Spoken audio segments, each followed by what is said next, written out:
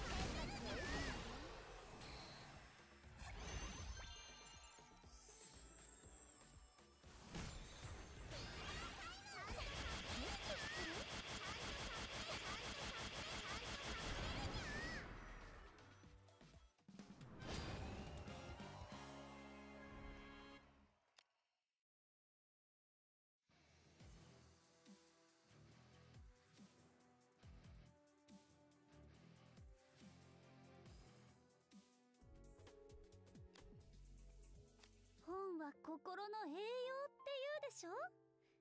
あなたは餓死する寸前ね。この商品はこっちで。えーとこの商品はこっちの棚ああっちでまたなだれ。ちょっと片付けないと。ふう毎月毎月入荷するものが変わってるから。在庫管理が本当に大変。なんて文句言ってないで。ランフェイにお願いしてもっと広いお店をあのー。ネズミ？違います。チンチラです。大きなお耳が特徴の可愛いで白いですよ。そこら辺のドブネズミと二度と一緒にしないでくださいね。そこまで言ってないぞ。あらそうでしたか？ネズミなんて言うからてっきり。ところでお客様来店は初めてですよね。いらっしゃいの情報収集能力をいかんなく発揮してお客様が思わず欲しいとうなる商品を揃えてます。であ腕が当たってまたなだれが。くお店が狭すぎて動きづらい。それで何か気になる商品はありますか？商品は他の悪魔やチャイルドと戦って手に入れたラグナコインと交換です。回転セールはないけど並んでいる商品を全て買っていただいたらスペシャルなプレゼントをお付けしますよ。なるほど。つまりラグナコインで買うことができるってわけだろ。覚えとくよ。お客様飲み込みが早い。それじゃこれからブラウニーのお店をどうぞごひいきにあそれから壁に耳あり障子にも耳ありって言葉はご存知ですか？それを言うなら壁に耳あり障子に目ありだろ。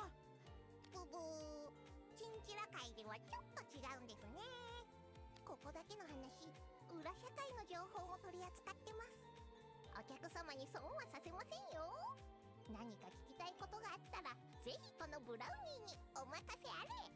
手数料はお安くしておきます。小回りが利くやつだな。とびっきりな褒め言葉として受け取っておきます。お客様